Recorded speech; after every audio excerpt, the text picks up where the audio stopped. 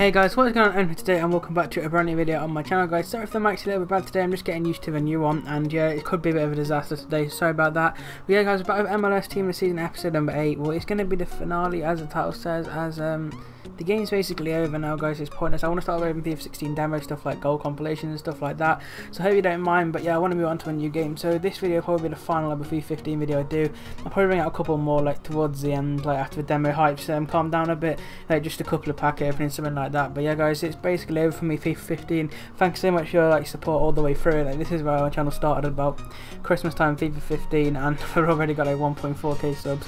So I can't thank you guys enough. Yeah, onwards and upwards anyway. So sorry about um, the lack of um, like videos recently but I wanted to get out the FIFA 16 demo. It's installing now it's done 40% in less than 10 minutes. My internet's blazing it tonight. So yeah, I don't know how this video will be up. It'll be up about 6 o'clock I think. But yeah guys thank you so much for watching this. This is going to be the end basically in a second. You can see um, what we actually ended up with by episode the end of episode 7 so here we go guys. We have a 452k that is it. And this is this is the reason why I stopped because I can only afford Zardes in this team which is just ridiculous. Like there's no point me carrying on. Um, so yeah I'm going to stop it there like like, look, like 70k and stuff like that. So I don't want to carry on and still not finish it. I might as well end it, do FIFA 16 stuff, have a laugh on there, like demo, do different things, and some foot draft, like mega team, play with it, something like that. We'll see how it goes anyway. Yeah, tell me what you want to see on the FIFA 16 demo. Let me know, guys. Thank you so much for watching this video. If you have enjoyed, don't forget to leave a subscribe if you want to see some FIFA 16 content. Obviously, they'll be trading out very soon as well when the web app's out, hopefully in exactly a week today. I'm hoping the web app will be out.